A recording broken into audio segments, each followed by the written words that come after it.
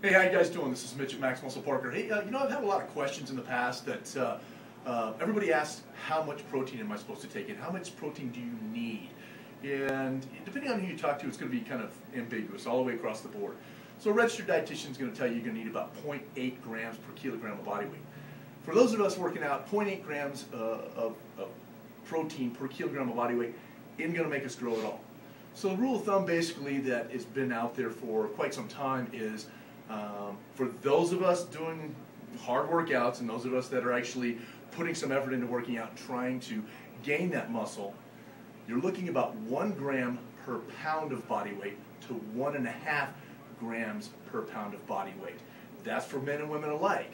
So we take a 200 pound man, you're going to need anywhere about 200, 250 grams of protein uh, during the day. That's going to put you in a positive nitrogen balance, thus you're going to grow. So you're going to need that amount of protein. And of course, you get those from your regular foods and uh, you know chickens, fish, turkey, you know all the lean stuff, protein powders like I have behind me. So of course, you definitely need to get in to gain that lean muscle.